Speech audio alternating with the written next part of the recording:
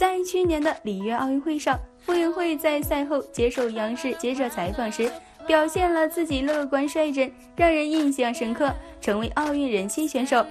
她的表情包也随之在网上流传，不过这也给傅园慧造成很多困扰。